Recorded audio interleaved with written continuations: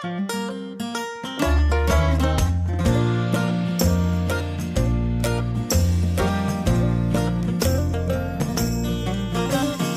mit tagadjam, rezignál, nyugger vagyok. És örülni kell már annak is, hogy a szívem még dobog.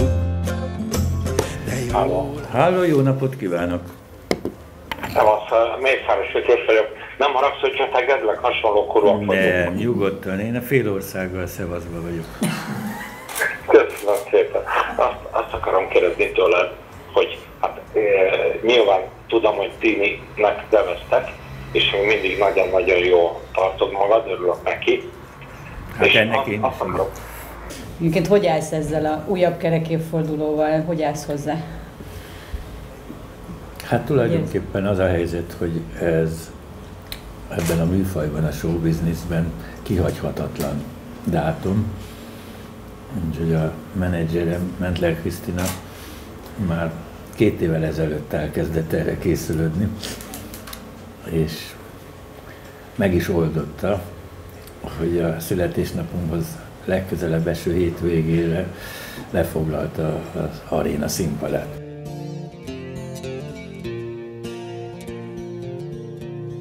Ahogy 40 évvel ezelőtt is voltak nehéz idők, de a Kondratyev féle ciklusokkal sohasem törődtek ők. Szerinted rajta vagy például az MTV-nak azon a ki nem mondott tiltó listáján? Mert nem nagyon látlak téged közmédiás műsorokban, miközben azt gondolom, hogy az életműd alap, életműd alapján megérdemelnéd, hogy ott legyél.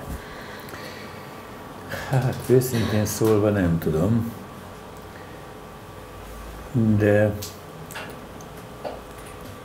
voltam egyébként az NTVA média vendége, igaz, hogy csak úgy rövid kis riportban. Hát azt észreveszem, hogy vannak olyan dalaim, amiket, amiket nem szívesen játszanak ha azokban, azokban a műsorszórokban, ahol a, mondjuk a, a, az állami befolyás közvetlenül is kimutatható és érzékelhető. És szokták mondani, hogy a, az új 70, az a régi 50, az is már egy komoly kor természetesen, de hát én már elég régóta kijelentettem, hogy rezignált nyuggernek érzem magam, és ez a, ez a viszonyom a környező világgal.